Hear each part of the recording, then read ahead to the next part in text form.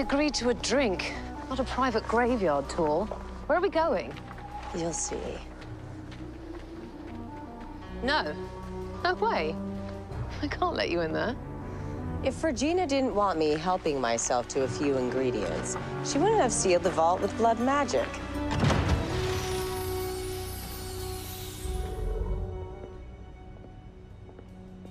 And how do you know I won't tell her about this little field trip? because you already would have. Why do you need all that magic? Because I already used everything the dragon had in his shop to get to this pitiful little town. And what became of him? Let's just say he should have known better than to get in my way.